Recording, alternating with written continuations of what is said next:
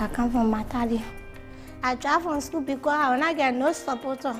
My mom not living, and my partner here to send me to school. 62 million girls around the world who should be in school are not. That's not by accident. It's the direct result of barriers, large and small, that stand in the way of girls who want to learn. We often focus on the economic barriers girls face school fees or, or, uniforms, or how they live miles from the nearest school and have no safe transportation. It's also about attitudes and beliefs. It's about whether societies cling to laws and traditions that oppress women. We know that when girls are educated, they're more likely to delay marriage.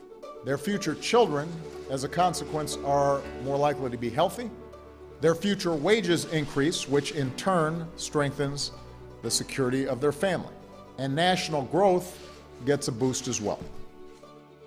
And that is why the United States government recently launched a new global girls' education effort called Let Girls Learn. As part of this initiative, U.S. Peace Corps volunteers will work side by side with local leaders, families, and girls themselves to help girls go to school and stay in school. They'll be creating mentoring programs, girls' leadership camps, and so much more.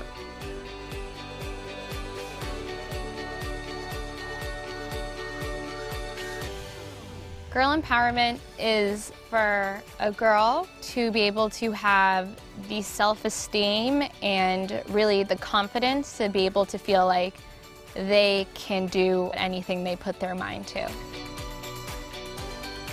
I will go to school again to achieve something in my life.